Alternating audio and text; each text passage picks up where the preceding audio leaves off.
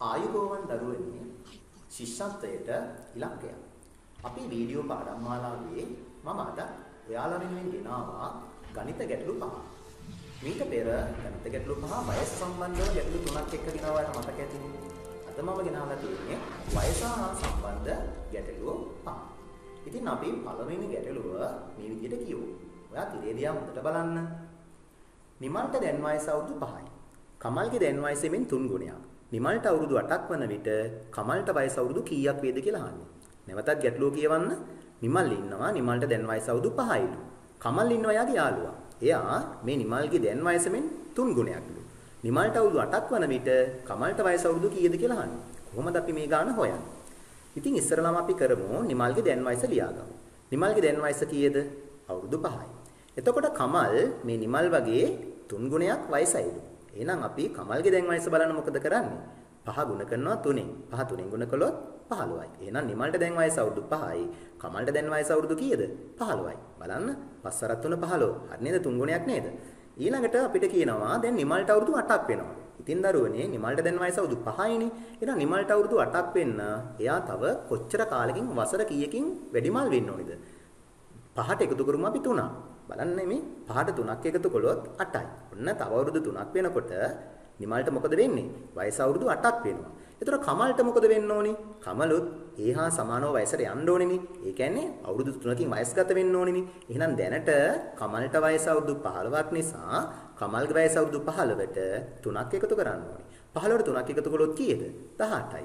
එහෙනම් කමල් නිමල්ට අවුරුදු 8ක් වන විට කමල්ගේ වයස අවුරුදු 18ක් වෙනවා. ගැටලුව තේරුම් ගන්න ඕනේ විසඳන ආකාරය ඔයාගේ අම්මා තාත්තත් එක්ක. නැත්තම් එකපාරට තේරුම් ගන්න බැරි වෙයි. දෙවෙනි ගාන බලමුකෝ. දෙවෙනි ගාන බලපු ගමන් ඔයාට තවත් අවබෝධයක් ලැබෙනවා. දෙවෙනි ගාන තියෙන්නේ ඔයාගේ යාළුවෙක් ගැන. සනුල්ලියා ඉන්නවා. සනුල්ලියාගේ දැන් වයස අවුරුදු 10යි. සනුල්ලියාගේ යාළුවෙක් ඇහුවොත් වයස කීයද කියලා කීයද? අවුරුදු 10යි කියලා කියනවා. එතකොට තවත් යාළුවෙක් ඉන්නවා. සමහරට අපි හිතමු සනුල්ලියාගේ අම්මා කියලා. එයා දේදුණු. දේදුණගේ වයස කීයද කියලා ඇහුවොත් දැන් වයස සනුල්ලියාගේ වයස මෙන් 3 ගුණයක්. ඊට පස්සේ අපෙන් අහනවා සනුල්ලයාට අවුරුදු 15ක් වන විට දේදුනට වයස අවුරුදු කීයක් වේද කියලා. හොඳට ගාන, හොඳට ගැටලුව තීරුමක් ඇතුව අවබෝධයෙන් අපි කියවමු බලන්න. සනුල්ලයා ඉන්නවා, සනුල්ලයාගේ දැන් වයස අවුරුදු 10යි. දේදුන ඉන්නවා, දේදුනගේ දැන් වයස එමෙන් 3 ගුණයක්. ඒ කියන්නේ 10වත් උනා. සනුල්ලයාට අවුරුදු 15ක් වන විට දේදුනට වයස අවුරුදු කීය දානවා. කොහොමද හදන්නේ? සනුල්ලයාගේ දැන් වයස ලියාගමු. සනුල්ලයාට දැන් අවුරුදු 10යි. එතකොට දේදුනට දේදුනගේ වයසය වගේ කී ගුණයක්ද? 3 ගුණයක් කියනවනේ. එහෙනම් 10 ගුණ කරනවා 3ෙන්. 10 වරක් 3 කීයද? 30යි. ඔන්න දැන් සනුල්ලයට අවුරුදු 10යි, දේදුනට අවුරුදු 30යි. දැන් සනුල්ලයට අවුරුදු 15ක් වෙන්න ඕනේ. දැන් එයාට අවුරුදු 10යිනේ. එහෙනම් අවුරුදු 15ක් වෙන්න සනුල්ලයට තව වයස කීයක් එකතු වෙන්න ඕනේද? 10ට එකතු වෙන්න ඕනේ 5. එතකොට 15යි. ඔන්න සනුල්ලයට අවුරුදු 15ක් වුණා. එතකොට දේදුනුත් වයසට යන්නේ නැද්ද? නෑනේ දේදුනුත් වයසට යන්න ඕනේනේ. දේදුනුත් වයසට යන්න ඕනේ අවුරුදු 5කින්මයි. එහෙනම් මොකද කරන්න ඕනේ? 30ට එකතු කරන්න ඕනේ 5. 30ට 5ක් එකතු කළොත් 35යි. ඔන්න බලන්න. එහෙනම් සනුල්ලයට අවුරුදු 15ක් වන විට දේදුනට අවුරුදු 35 වෙනවා. ඊළඟ ගානක් බලමුකෝ. උපුලි ඉන්නවා. උපුලිගේ වයස අවුරුදු 7යි. උපුලිගේ වයස බැලුවොත් අවුරුදු 7යි. උපුලිගේ අම්මා ඉන්නවනේ. උපුලිගේ අම්මාගේ වයස එමෙන් 5 ගුණයක්. දුවගේ වයස අවුරුදු 17ක් වන විට අම්මාට වයස කීයද දානවා. ඒ කියන්නේ මේ උපුලිට අවුරුදු 17ක් වන විට එයාගේ අම්මට වයස අවුරුදු කීයක් වෙනවද කියලා අහන්නේ. අපි මේ ගණනත් විසඳන ඇති බලමු. හොඳට බලන්න තිරේ දිහා. මුලින්ම අපි කරන්නේ උපුලිගේ දැන් වයස ලියා ගන්නවා. උපුලිගේ දැන් වයස අවුරුදු 7යි. ඊට පස්සේ කියනවනේ අම්මගේ වයස ඒ වගේ 5 ගුණයක් කියලා. එහෙනම් අම්මගේ වයස හොයන්න 7 ගුණ කරනවා 5යි. 7 වරක් 5 කීයද? 35යි. ඊට පස්සේ බලන්න ඕනේ දරුවනේ දැන් අවුරුදු 7ක් වෙච්ච උපුලිට අවුරුදු 17ක් වෙන්නේ තව අවුරුදු කීයක් එකතු වුණොත්ද?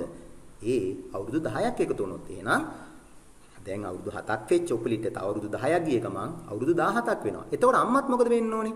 අම්මගේ වයසත් ඒ වගේම අවුරුදු 10කින් වැඩි වෙන්න ඕනේ. එහෙනම් අම්මගේ දැන් වයස 35යිනේ. එහෙනම් 35ට එකතු වෙන්න ඕනේ 10ක්.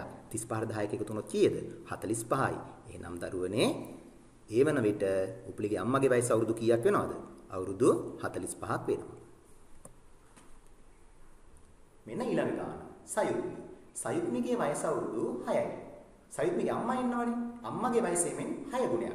සයුත්මිගේ වයස අවුරුදු 10ක් වන විට අම්මාට වයස කීයද කියලා අහන්නේ. හොඳට ගාන අවබෝධයෙන් කියවම් බලන්න. සයුත්මිගේ වයස අවුරුදු 6යි. අම්මගේ වයසේ මෙන්න 9 ගුණයක්.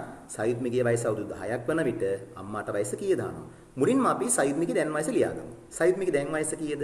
අවුරුදු 6යි. එතකොට සයුත්මිගේ අම්මා ඒ වගේ 6 ගුණයක් වයස්ගතයි. ඒ කියන්නේ 6 ගුණ කරන්න ඕනි 6. 6 වරක් 6 කීයද? 36යි. එතකොට සයුත්මිට අවුරුදු 6ක් වන විට අම්මගේ වයස අවුරුදු 36යි. ඔන්න එතකොට දරුවනේ සයුත්මිට අවුරුදු 10ක් සම්පූර්ණ වෙනවා. දැනට සයුත්මිට වයස අවුරුදු 6යිනේ. එහෙනම් 10ක් වෙන්න නම් සයුත්මිගේ වයසට එකතු වෙන්න ඕනි 4ක්. 6යි 4යි 10යි. ඔන්න 10ක් වුණා. එතකොට අම්මත් වයස වයස් ගත වෙන්න ඕනි අවුරුදු කීයකින්ද? 4කින්. දැනට 36ක් වෙච්ච අම්මට තව අවුරුදු 4ක් එකතු වෙනවා. එතකොට අවුරුදු 40යි. එහෙනම් සයිත් මීට දැන් අවුරුදු 6යි. අම්මගේ වයස මෙන්න 6 ගුණයක්. සයිත් මීට අවුරුදු 10ක් වෙන විට සයිත් මගේ අම්මගේ වයස අවුරුදු කීයක් වෙනවද?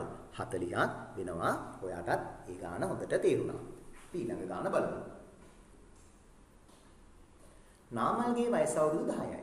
සීයාගේ වයස මෙන් 7 ගුණයකින්. නාමල්ගේ වයස අවුරුදු 20ක් වන විට සීයාට වයස කීයද? කොහොමද අපි මේ ගාන හදන්නේ? මේ ගාන හදනකොට අපි මේ වගේ වැඩක් කරන්න ඕනේ. ඒ මොකද්ද කරන්න ඕනේ? කරන්න ඕනේ ඉස්සෙල්ලාම නාමල්ගේ දැන් වයස ලියා ගන්නවා. අවුරුදු 10යි.